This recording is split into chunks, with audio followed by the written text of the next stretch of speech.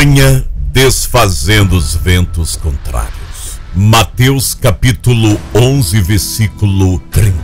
Os ventos contrários têm derrubado muita gente, assim como derrubou Pedro.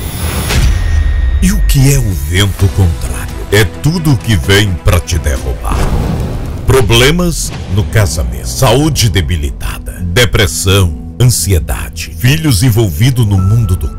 Tudo isso tem se levantado para te derrubar como um vento contrário e te afastar da presença de Deus. Está escrito: quando sentiu o vento contrário, ficou com medo e começou a afundar. Então gritou: Senhor, socorre-me! Imediatamente, Jesus estendeu a mão e segurou Pedro e disse: Como é pequena a tua fé, por que duvidou? Nesta campanha, os céus vão se abrir e Deus vai soprar todos os ventos contrários da sua vida. Campanha Desfazendo os Ventos Contrários, de 29 de abril a 5 de maio, 22 horas no YouTube.